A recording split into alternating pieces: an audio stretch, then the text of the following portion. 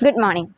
Quote of the day If you fail, never give up because fail means first attempt in learning by Dr. APJ Abdul Kalam. Have a nice day.